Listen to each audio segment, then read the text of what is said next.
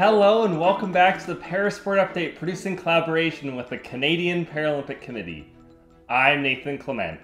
Canada's Paranordic team looked to use the home crowd advantage in Prince George, British Columbia for the 2024 FIS Parabiathlon World Championships. Continuing his perfect season, Mark Arendz captured three World Championships in the men's standing class. Natalie Wilkie won the 7.5 kilometer sprint world title and a bronze in the 12.5k women's standing, while Brittany Hudak claimed bronze in the 7.5k women's standing category. Across the Pacific, we land in South Korea as Canada's wheelchair curling team look to build on their hot start at the SD Biosensor World Wheelchair Curling Championships. Starting strong, early wins propelled Canada to the second seed and a bye to the semifinals. In the semifinals, Canada punched their ticket to the gold medal game with a 4-2 win over Sweden.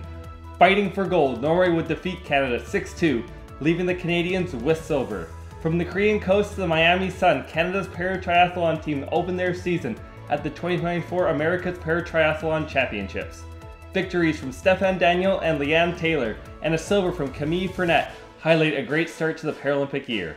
That's our time for this edition of the Parasport Update presented by AMI Audio.